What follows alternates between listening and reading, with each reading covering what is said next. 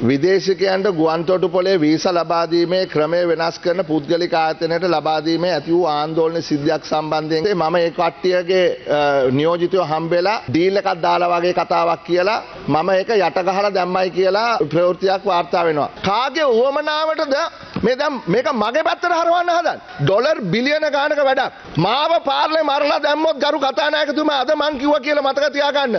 මේකේ ඉන්න පිටිපස්ස කට්ටියට වග කියන්න සිද්ධ වෙනවා. මොකක්ද මට කරන්න කියන්නේ.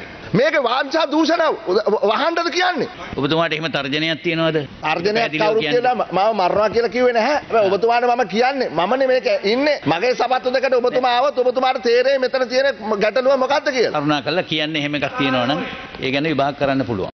මේ සම්බන්ධයෙන් විමර්ශනය කිරීමට අපරාධ පරීක්ෂණ දෙපාර්තමේන්තුවට භාරදී තිබෙනවා.